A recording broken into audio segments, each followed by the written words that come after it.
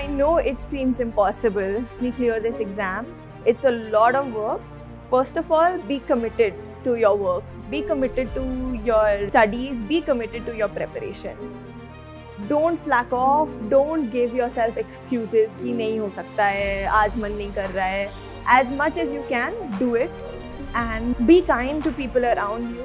I think at the end of the day, it was the blessings of my parents, my elders, and my friends that have helped me clear this exam. So be kind, be nice to people around you. And lastly, the journey of preparing for UPSC is in itself a very big learning experience.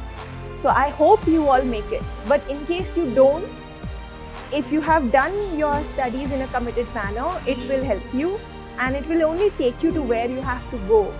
मेरा बहुत strong विश्वास है भाग्य में कि ये मेरे भाग्य में था तो मुझे ये मिला है। तो आपके भाग्य में जो होगा, वो आपको मिलेगा और वो आपके लिए अच्छा रहेगा।